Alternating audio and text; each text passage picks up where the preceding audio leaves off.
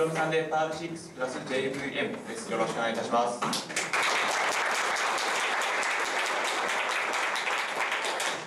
はい、よろしくお願いします。えっ、ー、とパール6と JVM の話をします徳弘夢です。えっ、ー、とあ年が間違ってますね。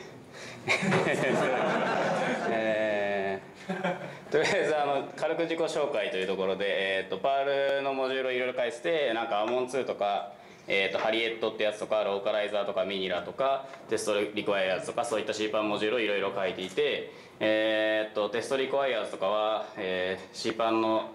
えー、何百個かのモジュールから依存されているので多分普通にパールを使ってると、えー、僕のモジュールがうっかりインストールされているというような状況になっているかと思います。なんか質問があればこの深海の時などに来ていただければと思います。あと最近なんかプルリクエストが滞ってるのでなんかプルリクエストが回されてないことがそういうのがあれば、えー、随時言っていただければと思います。で、えーと、 Perl6の話本題なんですけどまあとにかくですね Perl6、えー、素晴らしいということは、えーと、皆さんご存知の通りで、えーと、これまで10年ぐらい、えー、いろいろ YAPCやりましたけど、えー、その YAPCで、えー、いろいろいろ折を見てですねいろんな人が Perl6いいよって話をしてたのでもう皆さんご存知だと思います。なので Perl6自体の話はしないんですけど、えー、とはいえですねなんか最近ラクドースターっていうのが出てて、えー、なんかとにかくユースフルでユーザブルなんだみたいなことを、えー、書いてあって本当なのかどうなのかなっていうのがえー、皆さん気になるところかなと思うんですけども、えー、そこの部分がですね実は、えー、実際に検証してるみたいな人は意外と少なくて、えー、ブログのエントリーとかあるいはそのなんですかね、えー、講演であるとかそういったところではその文法の細かい要素がこうだよみたいな話ばかりが、えー、多くてですね、えー、実際の実用的なけん、えー、観点から、えー、話をしたいというのがこのセッションになりますと。でその有するかどうかってとこなんですけどところでですね Perl6自体の、えーと、用語っていうのがやっぱりあるのでその辺りの話をまず最初にしたいと思います、えーと、まずですね NQP っていうのがあってこれがあの Perl6のサブセットなんですけどその Perl6のサブセットで Perl6の Rakudoってインタープリター自体が実装されているということになってます。でこのサブセットの NQP ってやつのインタープリタも NQP で書かれていてでその NQP を実行するその実行環境としていくつかの VM が、えー、使えるようになっていると。いうような状況になっています。なのでまあその NQP のインタープリタを動かすことさえできれば、えー、パール6は動かすことができると。いうような状況です。でですねなんかパロットとかモア VM とか JVM とかいろいろあってなんかあのパロットがとにかくそのパール6のための VM だよっていうふうに当初言われてたんですけどでなんかいろんな LL がいろいろサポートされていて最高ですよみたいな話だったんですけどなんか最近はあんまりなんかそうでもないような気がしていて えっとですね、えー、まあ一応サポートされてるんですけどなんかメインのターゲットじゃなくなってる感がある、えー、という感じがします。で、えー、と最近は MoaVM っていうパル6専用の VM ができていてでそちらがメインになっているというふうに考えていただければよろしいのではないかなと思います。でこちらもやっぱり開発途中なんでまだちょっと不安定な部分とかもあると思いますけど、まあ、基本的にはかなり動くと、えー、パロットよりも、えー、動いてるんじゃないかなぐらい動いていると。あと起動が速い、えー、という感じですね。で一方ですね JVM を使うことができてで JVM のいいところっていうのは JVM 自体はもともとあるもので、まあ、Java 用の VM なんでもともとあるものなので他の VM に比べて圧倒的に完成度が高いというところがありますので、えー、JVM はで動かすのが実は完成度が高く遊べるということなんですね。で今日のトピックは JVM ということになりますが、えー、まあいろんな他の環境でも、えー、かなり同じ分があるのでその辺りは、えー、いろいろお話ができればいいなと思います。でですね僕なんか普段最近、えー、っと昼間の仕事で Java を書いてるんでまあなんかいろいろですね Java VM で動く、えー、インタープリターをですね、えー、遊んでみる中で PAL6 の JVM 版を試してみるというのも面白いのかなと思った次第。でまあ JVM で動くってことはその JVM 上で、えー、動く普通の Java のライブラリとかも呼び出せるんで、えーまあ、PAL6 のライブラリって今まだそんなにないんで、えー、Java のライブラリがそのまま呼べるっていうのがやっぱり一つ、えー、大きなアドバンテージになってくるということですね。で、えーまあ、特に Java で普段開発しているような方にとっては、えー、PAL6、の JVM 版は、えーなかなか便利かもしれないなというところでどれぐらい実用的かという話を今日するという感じですね。でえっ、とところどころなんか面倒くさくて日本語になってるんですけど えっとまあ、えー、とパル6どうやってインストールするかなって話なんですけど、まあ、基本的にはそのラクドースターっていうのが実用的なディストリビューションということになっているのでこれをダブルゲットしてきて tar で回答して、えー、コンフィギュア PL っていうのが PAR5 で書かれているから、えーそれを呼ぶと。でバックエンズイコール JVM ってすると、まあ、JVM ターゲットの、えーえーラクドースターが出来上がると。でこのバックエンドというとこに、えー、と MOA って書くと,、えー、と MOAVM も、えーターゲットとして使えるようになるというような感じですね。であとは普通にメイクしてメイクインストールすればいいという感じなんですけどえっ、とまあ PAL6 をインストールするときに、まあ、Mac だったら、えー、ブリューインストールラクドスターってすればいいんですけどで WithJVM ってオプションをつければ JVM も使えるんで、えーなかなか便利と。ちょっといいですか？よく考えたら時計を一切見てないことに気づきました。えっとですね時計を見てなくてちょっと急ぎすぎてるのでちょっとゆっくり喋りますけど。でえっとラクドスター、えーこれで入るんですけど今入ってるブリューのルールがちょっと古くて、えっとラクドスターってなんか2015.03みたいな感じのバージョニングなんですけど、えーそれがですね、えー今7月版が最新版なんですけどブリューで入るのは、えー3月版だったのでちょっとだいぶ古くてなんか結構文法がですねあのちょっと変わってたりするのでこの 数ヶ月の間に。えっとなんで、えー新しいものを使えるように誰かプルリクエストを出しておいてくれるとありがたいという感じですね。でえーで今回、えーいろいろどういうふうに、えー、とその PAL6 自体が実用的かどうかっていうのを評価しようかなってことを考えた時に僕は Web デベロッパーなのでその Web デベロッパーとして、えー実際どういうふうに、ええ実用的かどうかっていうのを判断していきたいというふうに考えるわけですね。で、えーいろいろ考えた時に、まあ、この辺りができれば実用的なんじゃないかなっていうふうに言えるっていう評価項目を挙げてみましたと。でこのスタートアップスピード、えー起動速度が、えー十分速いかどうか。あとはファイルアクセスとかできんだっけとかあとは JSON 使えるの HTTP のクライアントがあるのサーバーがあるの。あとは、えー例えば MySQL サーバーとかそういった、えーデータベースサーバーに対するアクセスができるのか。あとは、えーと普通に Java のライブラリがどれぐらい使えるんですかっていうところ。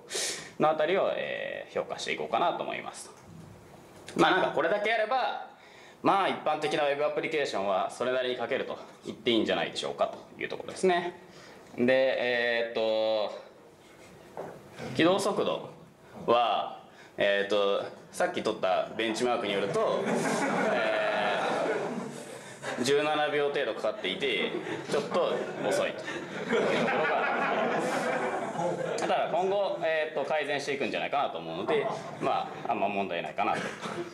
でちょっと遅いけどでなんかそもそもなんか普段 Java 使ってない人からすると JVM がそもそも遅いんじゃねえのっていう、えー意見があるんですよ。なんだけどそんなことはなくて実際はなんか普通に最近の Java ってそんな遅くなくて単にハローワールドとか出すだけだったら0.12秒ぐらいで、えー起動するので大体、えームースをロードした PAL5 と同程度速いというふうに言えます、えーそんでですね。で、まあ、PAL5 だとまあ0.04秒ぐらいで起動するので、えー速いですねと。でまあ433倍ぐらい遅いんだけど、まあ、今後、えー良くなっていくんじゃないかなというところでございますとであの MoaVM 版あの基本的にこれ PAL6 って PAL6-M っていうのが MoaVM 版で PAL6-J っていうのが JVM 版みたいな感じになって PAL6P がパロット版みたいな感じなんですね。で、えー、と PAL6M の方は、えー時間が0.31秒ぐらいで起動するんで、えー、MoaVM 版は、えーそういったスクリプティング用途にも十分使えるという感じになっておりますと。なんかあのーまあもちろん JVM 版はなんか同じコードを MoaVM 版でも JVM 版でも動かせるんで例えば、えー、と JVM 版って結構 JIT とかも効くんで結構早いんですよ。なんで MoaVM で開発して JVM で、えープロダクションで使うとかまあそういったことが考えられるわけですね。次ファイルアクセスの話。でファイルアクセスなんですけどこれ8項目ぐらいまであって今10分ぐらい経ってるんでちょっと急がないといけないんですけどまあ普通にセイスラークとかやれば普通に、えー読めますと。でまあこの辺は普通に動くんで特に言うことはなくてで JSON とかってどうなんだっけってことなんですけど、えーなんか JSON タイニーってモジュールが、えーラクドスターにバンドルされていると。でなんか最初のやつなんだからタイニーとかつけなくていいんじゃないかなと思うんですけど、まあ、結構ついてるんですよねこういうのね。で from-json とかやってドットパールってやって、えーこれはレプルなんでそのままドットパールってやった結果が表示されるとこういう感じと。で、えー識別子にですね Python が使えるっていうところが、えー素晴らしくて、えーリスパーの方も安心という感じですね、はい、でこのドットパールっていうのはあの Perl6の元々の機能で言語がそ、えー、と Perl6のコードに、えー変換してくれる Data::Dumper と同じ機能を持っているということですね。で 2JSON ってやると、まあ、JSON にするみたいなこともできると、まあ、この辺は普通の Perl5とほぼ一緒ですね。とで ACP のクライアントなんですけど、えー、と LWP シンプルがついていてこれも Rakudo Starには入ってるんですけど LWP シンプルがついてるけど LWP ユーザーエージェント相当のものはついてないみたいな感じになってちょっと使いづらいんですけどえっ、と普通にこうやって LWP シンプル .get ってやると普通に取れるという感じですね。でえっ、とまあ意外と使えるなって感じなんですけどなんかレガシーエンコーディングがサポートされてなくてレガシーエンコーディングっていうのは何かっていうと、えー UTF-8 とか UTF-16 とかそういうんじゃないやつ、えーユニコードベースのものじゃない CP932 とかそういうものですね。でこうやって LWP, LWP シンプルゲット Google COJP とかやるとアンノーンエンコーディングシフト JIS って言われて死ぬっていう感じになって最初これを最初にやったのであの全然動かねえじゃないかと思ったんですけどあの UTF-8 で書かれてるサイトだったら読めたのであよかったなっていう感じ。えーなんでなんかこうなんですかねエンコード PM 相当のものがですねえー.ああえっとえーっとそんでデビアクセスなんですけどでデビアクセスはネイティブコールを使っていて、えーっとネイティブコールって何なんだっていうとなんかいわゆる FFI とか呼ばれてるやつで、えーっとホーリーファンクションインターフェース的なやつですね、えーっと普通に DL オープンして、えーシンボルを取ってきてだ、えーっと DLL からで DLL の中のコードを直接読むみたいなことを動的にやるってやつ。でえーっとまあ普通に C の API を PAR6 から呼べるということになっていてえっ、となんですかね。まああー PAR5 みたいに XS で書いてそれをロードするみたいな感じじゃないのであの忌まわしい XS を書く必要はなくなるということになっておりまして、えー大変気楽と。普通に C の、えーライブラリを書いて、えー SO として書けばいいしえー便利ですよと。で JVM でどうやって使うかっていうと JNA っていう、えーやつがあってこれを使うと普通に FFI 的なことができると。いうことになっています。でこれが組み込まれてるんで、えー普通に、えー JVM 版の PAL6 でも、えー C のライブラリを読み込むことができると。で PAL5 だとどうやったらいいかなって考えた時には、えー、とダイナローダーを使えばこういうふうに書けば、えー、と libc からフォークを取り出すみたいなことができるんですけど、まあ、これは一般的には使うべきじゃなくて FFI とかそういうのがえー C パイに上がってるんでこれを使えばいいと。えー、とこの辺りが、まあ、PAL5 に標準添付されるともっといいんだけどなっていう感じはありますと。で PAL6 の場合は DVD イシュっていうのがあって時間が全然押してるな えっと DVD イシュっていうのがあってえーっと DVD イッシュ DBI イッシュっていうのが入って入ってるんで普通に SQLite とかはこうやって、えー書けば呼べてただなんかそのライブラリのパスがなんかカレントディレクトリとかからしか呼んでくれないんでそれはユーザーリブとかから呼呼べないから一回コピーすると動く。で Postgre とか MySQL とか SQLite とかあそういったメジャーなものがえー標準でサポートされてるんで MySQL とかでもこうやって普通に書けば prepare して execute して fetchall arrayref みたいなことをすれば、えーできますよとでえーっとまあ実際この NativeCall するときはどうやって書けばいいかっていうとこういう感じで書けばよくてまあ returns int32 とかこういうの全部手で書かないといけないので、えー、 Perlあー C のコードが、えー書く必要はないけど読める必要は絶対あるっていう感じ。でまあある程度簡単なんで、えーまあ、C の API 呼べるから便利ですねと。で ACP のサーバーなんですけど ACPG PSGA っていうのが標準添付されていてでこれをですね、えーこういう感じで書けば普通に動くので、えーいいんですけどだいたい速度が、えー5.95リクエストパーセクぐらい。でなんか PAL6J の方がちょっと速くて10.60リクエストパーセコンドぐらいさばける。で、えー、となんか10スレッズぐらい上げて、えーゴリゴリやると22.91リクエストパーセコンドぐらいはささばけるので、えーこれはもはや実用的と言っていいのかな。はい。でなんかですねあこの辺はちょっと飛ばすんですけどもともと標準添付されてるやつはえーと、コンカレントに動かないので、えーと、こういう高速化できないんですけどなんかパッチを当てれば動いたのででモア VM 版はなんかアクセプトを複数のスレッドであ、えー、しようとするとなんかこのこのソケットはうちが作ったやつじゃないよみたいなこと言ってきて落ちるのであのでも JVM 版はそれがそのまま使えたんでで結構スレッド関係やっぱり一から書いてる MoaVM 版は結構怪しいんですけどなんか JVM はもともとついてるやつなんで結構安心。で Java の、えーと、ライブラリ呼ぶ時はこういう感じにしてユースってして FromJava すると普通に呼べるんで意外とこういう感じで普通に呼べて普通に使えると。便利。で GUI とかも意外と動いて JFrame.new とかしてこれスイングですけど JLabel.new とかしてやればいいんですけどでこれがですねえっ、とデモが用意してあってえっ、とこれか？ただこれがデモがえーと、時間がない中でですねえっ、と17秒かかるっていうところが問題で。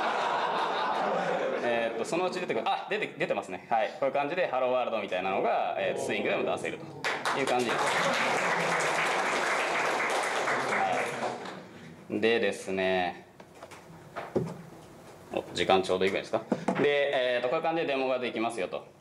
でなんかコロンジャーとかつけると、えー、特定の JAR ファイルを読むみたいなこともできるので、えー、意外と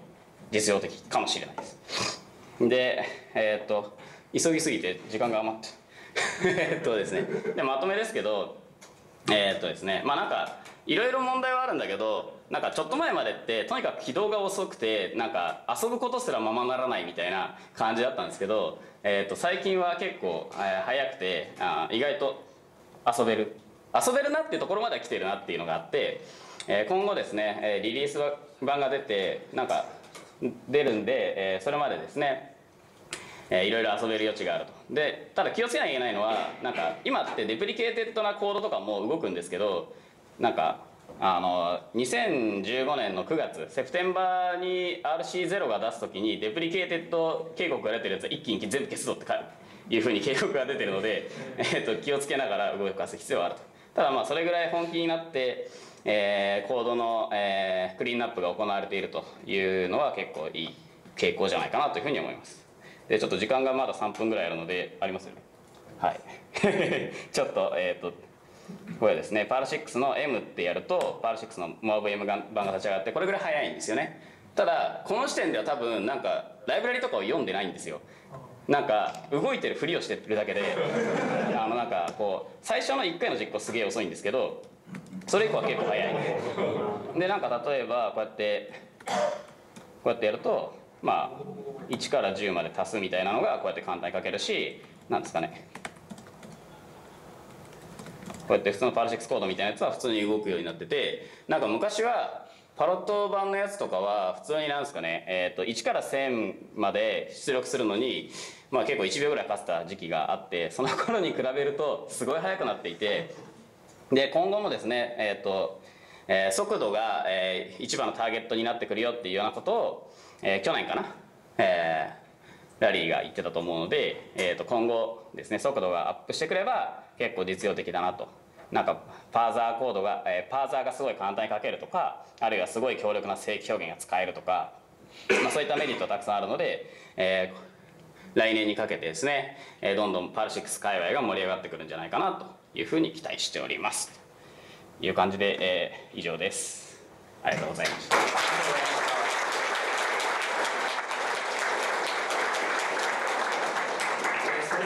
次応答の時間に移りたいと思います。質問がある方は挙手をお願いいたします。これがさっき言ったパッチです。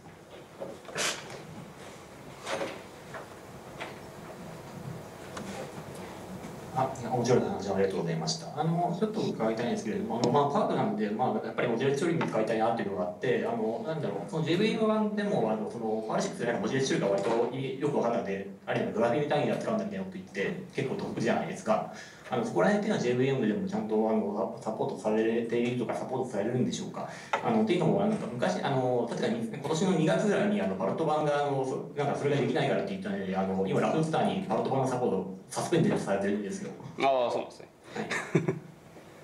なので、あのそこら辺の JVM 版では特に特に問題なくて、これからあのちゃんと R6 のあのななんだろうあのシノプシスみたいなの仕様をちゃんと満たせるのかなっていうのがちょっと聞きたいんですが。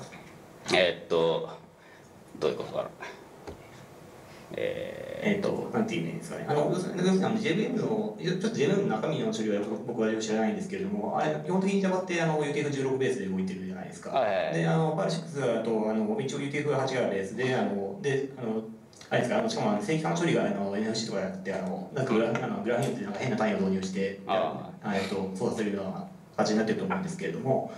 えっと、そういうのは、えっと、どういうふうに扱ってるのかなというのがちょっと聞きたいです。あーなんか MoaVM とかはデフォルト中身全部 UTF-8 だったと思うんですけどなんかなんでしょうね。まあソースコード読めば分かるかなと思うんですあんまそこは その辺は僕はあんま見てないです。あはい、わかりました。あすいません。はい。ありがとうございます。他にご質問はございますかはい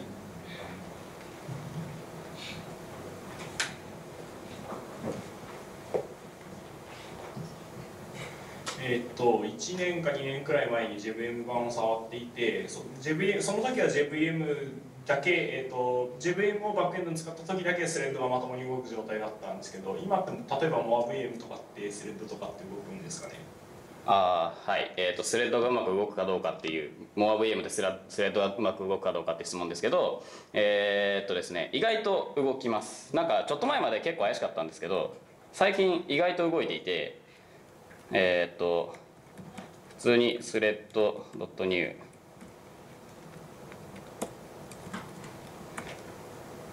ニュー。じゃねえや。スタートか。普通にスタート。えー、3.3とか。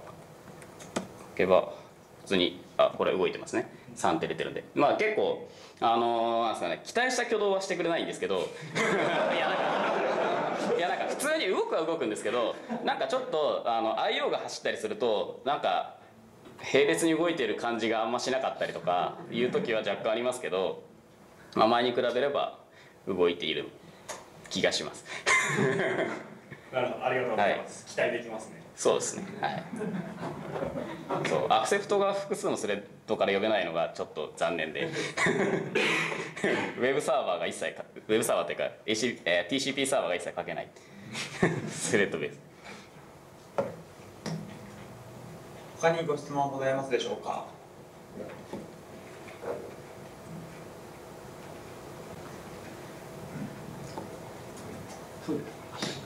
では、えー内容なのでこれで終わりたいと思います。えーありがとうございました。